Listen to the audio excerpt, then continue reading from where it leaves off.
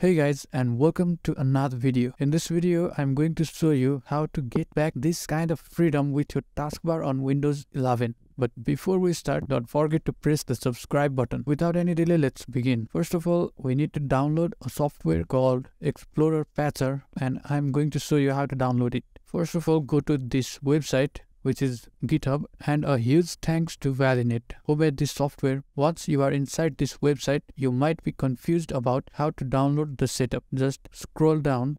When you see this setup program option, just click it and your download will begin. Let's install this. Just click on it, click run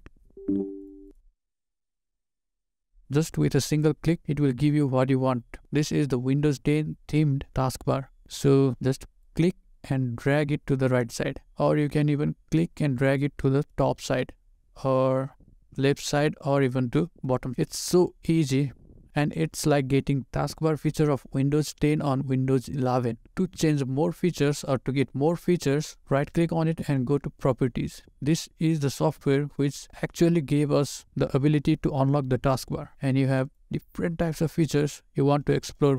And once you install this you need to click in this restart file explorer option. And after this click this check for update option in case of any issues. So this much for today guys if you want such useful videos, then subscribe to my channel. If you like this video, then you may press the like button as well. Thank you and I will see you in the next video.